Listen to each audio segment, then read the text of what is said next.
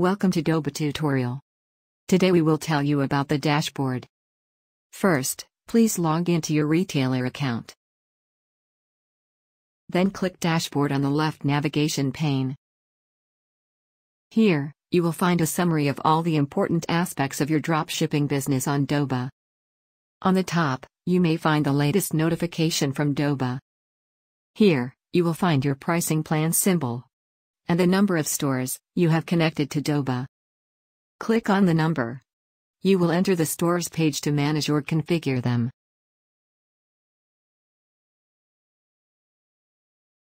Total sales amount of the current month. And the total orders of the current month. Here, you will find the products updates information. The number of updates of different types, price, inventory, status, and the new variants.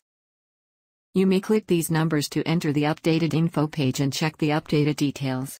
Then you may need to update the respective products in your store as well. And take actions if necessary, such as taking the product off the shelf, if it isn't available anymore. Here is your purchase orders summary section.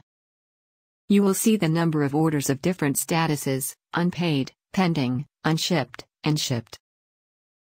You may click these numbers to enter the purchase orders page and check the details of the orders. And take actions if necessary, such as canceling the order if you don't want it anymore. Down here, you will find your sales report and a chart of your orders and sales amount. You may choose to show daily or monthly data here. And choose current or last month here. On the right corner, you may choose to show the data of a specific store from a specific platform. The dashboard is your command center.